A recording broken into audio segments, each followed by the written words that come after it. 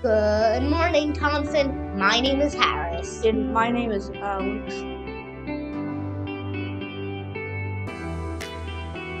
Today is Monday, October 3rd, and it is a red day. Here are today's announcements. On this day in history, 1863, U.S. President Abraham Lincoln designated the last Thursday in November as Thanksgiving's Day. Today is National Techies Day. Get your teeth on. Quote of the day Nelson Mandela said, It always seems impossible until it is done. AV Club will meet on Friday, October 7th in room 201. Come check out what we are, all about.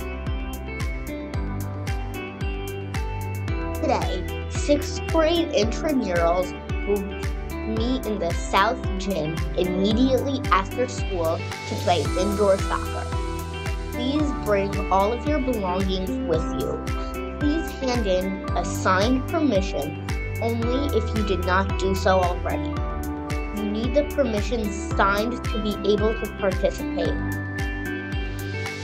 Fun fact a heat wave in 2003 was so hot it turned grapes into raisins before they could be picked from the vine. Joke of the day How do celebrities stay cool? They have many fans. These are the only announcements we have for this morning. Have a meaningful Monday.